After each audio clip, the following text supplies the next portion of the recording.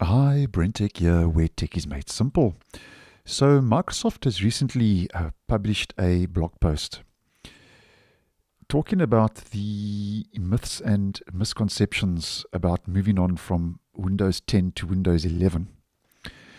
And this is the full post, which is quite in depth. So, I'm going to leave this down below in the description um, if you'd like to go check it out more in detail. But just for the purposes of this video, not to get things too long for the time limit of this video, I'm just going to focus on a couple of the so-called key highlights that um, Microsoft is addressing when it comes to myths and misconceptions regarding Windows 10 and moving from 10 to 11. And I'm sure that some of these statements that Microsoft has made are going to cause a little bit of debate in certain circles. Now, this blog post is mainly addressing organizations and enterprises and IT admins. But I think if you're an average home user, you could kind of relate to some of these points.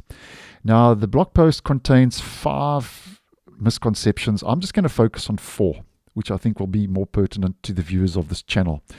So, the first misconception that Microsoft says is that the name change means a bigger change.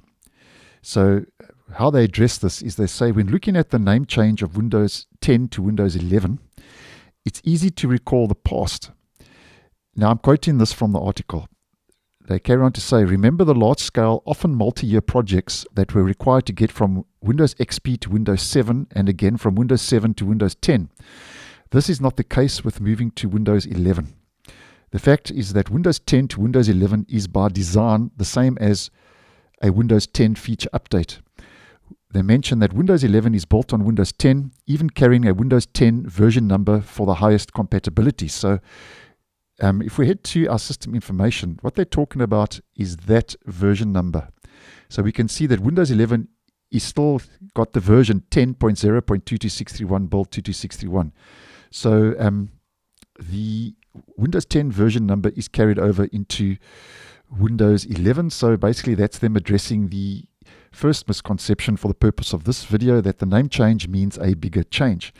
Now, moving on to the second misconception and that is application compatibility is a risk when upgrading to Windows 11. And for this one, I'm just going to pop this little chart on the screen where Microsoft says they take responsibility for compatibility.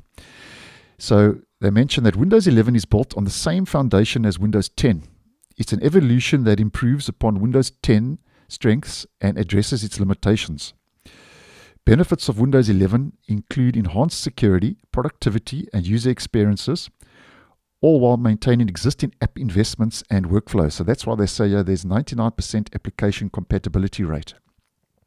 They carry on to say, as a continuation of Windows 10 servicing, Windows 11 is built with the same application compatibility you have come to know with Windows 10 uh, to Windows 10 feature updates. They mention that since the initial release, organizations moving to Windows 11 have observed that applications running on Windows 10 continue to run on Windows 11 without issues. So that's the second misconception and myth they are addressing called application compatibility is a risk when upgrading to Windows 11. Then moving on to the third one and the second last one for this video.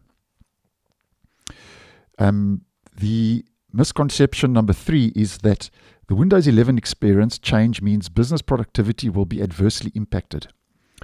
So they carry on to say the most important UI change that we made with Windows 11 is the visual aspect of the start menu and taskbar. This enables a vastly better user experience when using wide screens. No more constant swiveling from the center to the bottom left of the screen Additionally, you and your users have more opinion options to personalize and customize your desktop experience. Now, I'm just going to stop here for one moment. The only thing I want Microsoft to bring back to the start menu in Windows 11 is to be able to resize it. I think that is basic functionality that needs to come back to the start menu. But nonetheless, moving on, they carry on to say the start menu is also more adaptive and responsive across a broader array of devices and orientations. And they mention that you can easily switch between tablet and desktop and support multiple monitors and different resolutions, making it easier to work across different screens.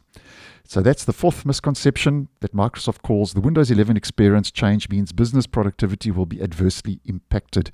And then the last one for the purpose of this video is misconception number four, which is variation in device configuration increases total cost of ownership. And they say nearly all organizations have users with different roles and personas. Each might require different applications, tools, and configurations to accomplish their duties. They mention this transition is the same for Windows versioning. As you move to Windows 11, you'll likely have devices at varying versions of Windows 10 alongside your Windows 11 devices. They mention that there are ways to minimize the disruption of this transition and total cost of ownership. And then for new devices, these should be deployed as Windows 11 cloud natively managed.